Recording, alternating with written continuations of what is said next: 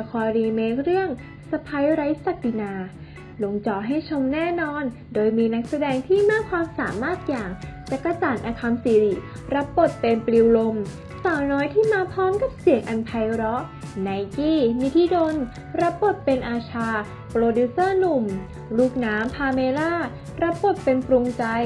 แม่ของปลิวลมที่จะเป็นอุปสรรคใหญ่หลวงของปลิวลม และตามด้วยนักแสดงมากฝีมือและดาวรุ่งอีกมากมาย อาทิเช่น เออนันต์ ตุ๊กดวงตา มาริโคสเอชัยยามิชัย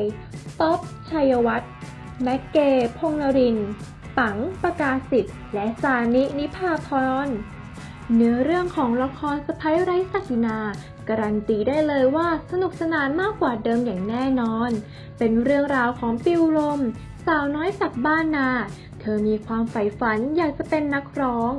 เป็นเพราะพรสวรรค์และความสามารถของตนเองที่ชอบร้องเพลงและมันฝึกร้องอยู่สม่ำเสมอ จึงทำให้บิวรมร้องเพลงได้อย่างไพเราะและน่าฟังมาก แต่ผู้เป็นแม่กับพัดขานไม่เห็นด้วย เพราะมีความหลังแย่ๆเกี่ยวกับนักร้องคาเฟ่อย่างไรก็ตามปิวรมจะไม่ยอม เธอจึงได้หนีออกจากบ้านและเดินทางไปยังกรุงเทพ ปิวรมต้องเจอกับความลำบากมากมาย จนกระทั่งโชคชะตาก็เข้าทาง จนทำให้เธอกลายเป็นนักร้องขวัญใจของมหาชน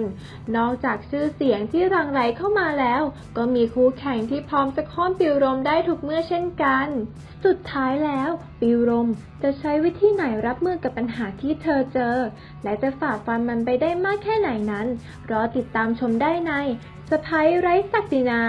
ทางช่องแปด ชมจบแล้ว อย่าลืมกด Subscribe ติดตามด้วยนะครับ